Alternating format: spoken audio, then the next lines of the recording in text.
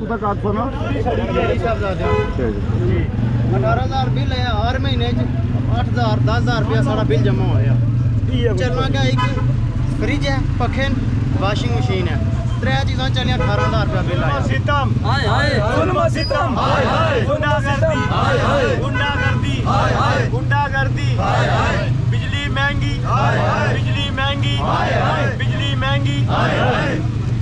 बिजली महँगी, आटा महँगा आटा महँगा बिजली महँगी, पेट्रोल महँगा पेट्रोल महँगा, गैस महँगी, जीना महँगा जीना महँगा, मरना महँगा मरना महँगा, हाय हाय हाय हाय हाय हाय।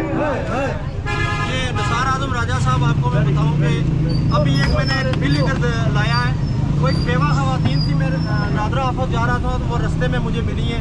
तो वो बिल जमा करवाने के लिए आ रही थी। तो मैंने बोला कि आज अभी जो हमने बिल्लू पे टैक्स लगा हमने बाइकाट किया हुआ है। तो सच्ची बात है वो रोने लगी। उसने बोला कि मैं बेवा औरत हूँ।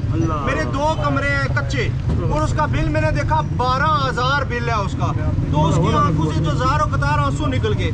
तो मैं ये कहना चाहता हूँ इस मौका पर कि ये जो जुल्म और सितम आज़ाद कश्मीर की आवाम पे हो रहा है डैम हमने बनाए हैं। पानी हमारा आज भी हमारे अभाव जिदाद की कब्रें देखे पानी में डूबी हुई हैं।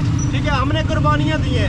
आइन में तो पाकिस्तान के आइन में ये लिखा हुआ कि आज़ाद कश्मीर मतनाज़ा एरिया और इसको बिजली फ्री देनी चाहिए। ठीक है, लेकिन उस आइन में भी नहीं हो रहा और हमारे ऊपर डबल टैक्सेस लगाए जा रहे हैं। जबकि आज़ाद कश्मीर में किसी किस्म के टैक्सेस अलाउ ही नहीं है।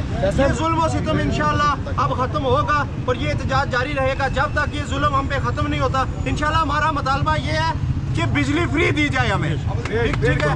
इस पे कोई कम्प्रोमाइज नहीं है। हम ये नहीं कहते कि हमें चार रुपये पाँच रुपये दस रुपये यूनिट हमारा मुतालबा हमें बिजली फ्री देनी चाहिए। बहुत शुक्रिया।